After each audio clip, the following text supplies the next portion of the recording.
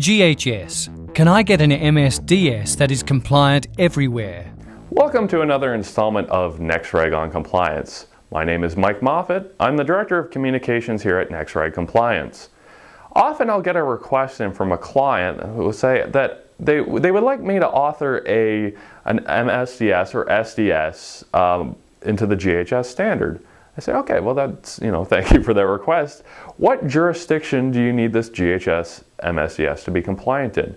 And often they, they feel that this is a strange question. They well, GHS is, you know, the globally harmonized system. So shouldn't I be able to get a single MSDS or SDS that's globally compliant? That all I would have to do once I have my MSDS is translate that document into the local language and use it in that country. So if I, if I want to use this uh, MSDS or SDS in Sweden, all I'd have to do is translate it into Swedish. I'd have to make no other changes. Sounds logical, but unfortunately, GHS is not going to work that way. And i am going to identify five key reasons why GHS is not going to work that way. The first is not every country has adopted GHS yet. At, the time of shooting this video, GHS hasn't been adopted in Canada, hasn't been adopted in the United States. This is a problem that should correct itself over time, but for the time being, you know, not everywhere has GHS. Two is that GHS uses what's known as the building blocks approach. So a country can, when adopting GHS, doesn't have to adopt the entire purple book. It can decide how much it wants to adopt, you know, which categories, how many, cate- how many levels in each category, and so on. They don't have to adopt the entire thing. I like to say that GHS is a buffet. So we're seeing in a lot of jurisdictions that the EnviroTox category is not being adopted. In other cases, a country might adopt, you know, three of the five levels for carcinogenicity, or so on. So not everywhere is using the same uh, parts of GHS. Now, do, I haven't seen anywhere in any of the regulations where a country, uh, a company is forbidden from using categories that don't apply in that uh, country. So you might think, well, why don't I just use the entire GHS Purple book and, you know, it may be overkill in some areas, but, you know, at least I'd be able to get a globally uh, compliant document that way. Well, the problem is exactly that, that it's overkill. So let's go back to that EnviroTox category. Consider a consumer product for a jurisdiction that uses GHS. You classify the product, and it turns out it's an, an envirotoxin, and you have to put that nasty little symbol of a dead fish on your product. Let's suppose your competitors, though, instead just just use the country level regulations. Don't you know only what's needed? They don't adopt everything in the purple book. Well, what's going to happen is your product and your competitor's identical product are both going to be on the shelf your product has a picture of a dead or a symbol of a dead fish on it, your competitor doesn't. What's going to happen is customers are going to choose the product without the dead fish logo on it. So you're going to lose sales. So, from a marketing point of view, using the entire purple book when you don't need to probably doesn't make sense. Third is that even when countries adopt GHS, or at least adopt some of the building blocks of GHS, there are still other laws that you need to be in compliant with, either at the national or state level. So in Germany, we have the water regulations. California, we have Prop 65, and so on.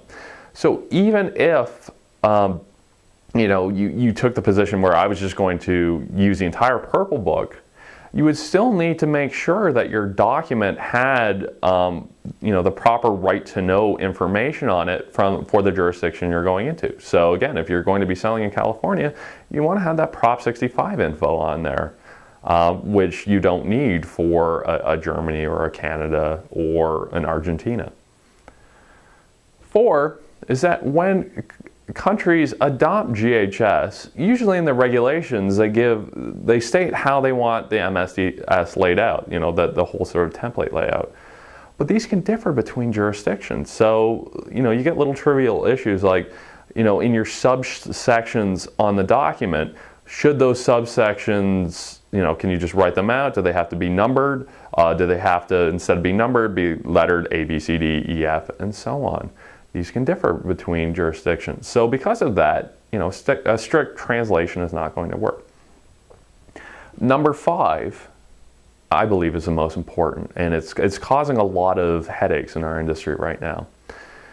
That countries issue or regulators in a country issue their own substance classification. So in Japan we have a list, in the EU we have a list, and it will say something like, okay, well acetone, we consider acetone to be you know class two. I, I don't know what it is, but let's say a class two carcinogen. It's this, it's that, it's that. Well, and typically you're required to use those classifications on your document. The problem is that they can differ. So Japan might categorize acetone one way, EU classifies it a different way, South Korea classifies it a third way. They don't necessarily have to agree. So this causes all kinds of problems because you're, you're required to use the national, the jurisdictional level um, classifications for the country you're operating in. So you really have to tailor your MSDS or your SDS to the local market. You simply cannot have a globally compliant GHS document. Simply, in, in NexReg's view, is not going to work. So I hope you find this informative. Um, in the next videos, we'd like to answer some of your questions. So please send them my way to uh, info, info at nexreg.com. So thank you for listening and take care. This presentation and all the information contained herein is not intended to replace or be used in place of the judgment of a qualified regulatory compliance professional. The opinions expressed are those of NexReg Compliance at the time the presentation was recorded. Regulations and interpretations of regulations can change rapidly, so please consult a qualified regulatory compliance professional before starting any project.